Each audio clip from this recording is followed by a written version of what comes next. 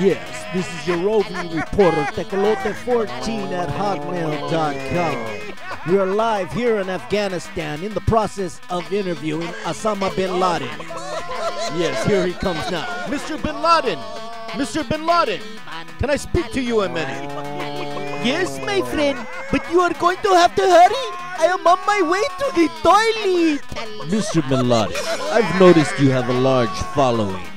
Who are they and where do they come from? We are the Taliban. From Iraqi to Iran. From Pakistan to Afghanistan. We are the Taliban. Yes, Mr. bin Laden, what are your views on the bombing of the Taliban in Afghanistan? You can bomb my country though.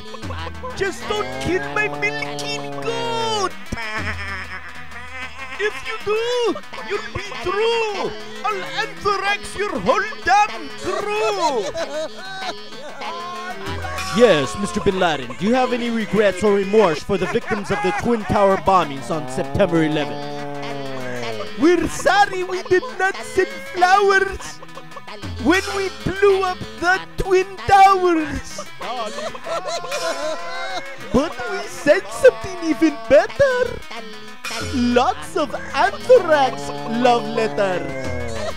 Mr. bin Laden, in what name do you fight this war? Is this a religious war or an ethnic war? We fight our war in the name of Allah. Allah! Allah! Allah chingala!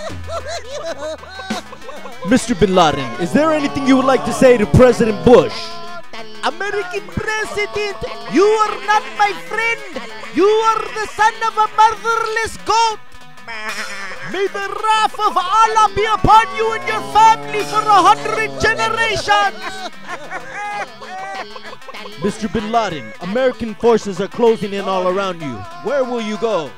I am going to Disneyland. We are the Taliban. From Iraqi to Iran. From Pakistan to Afghanistan.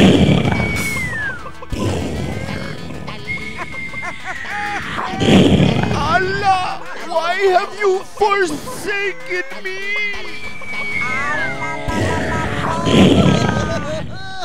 Gosh, gosh.